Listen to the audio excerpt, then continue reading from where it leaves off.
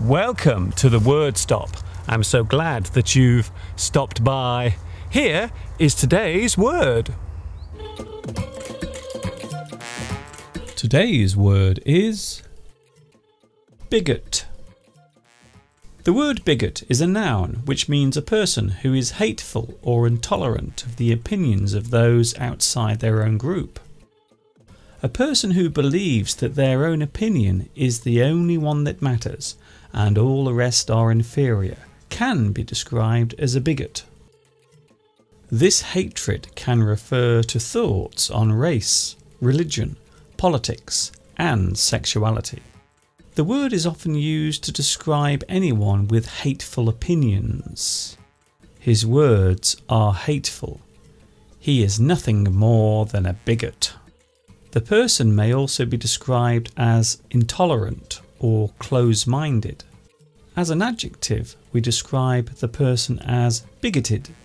His hateful words made him come across as bigoted. He spoke bigotedly throughout the whole party. A related word is bigotry, which as a noun describes the overall concept of hateful speech and attitude.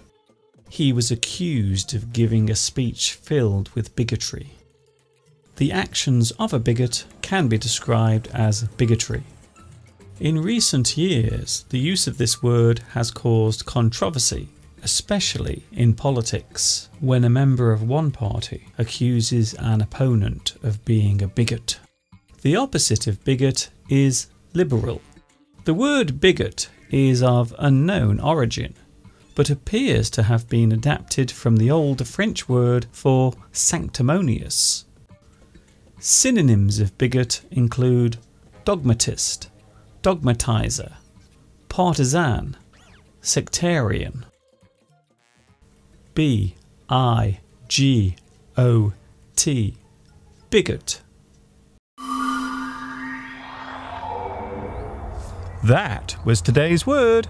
See you all again soon, and ta-ta for now. Oh,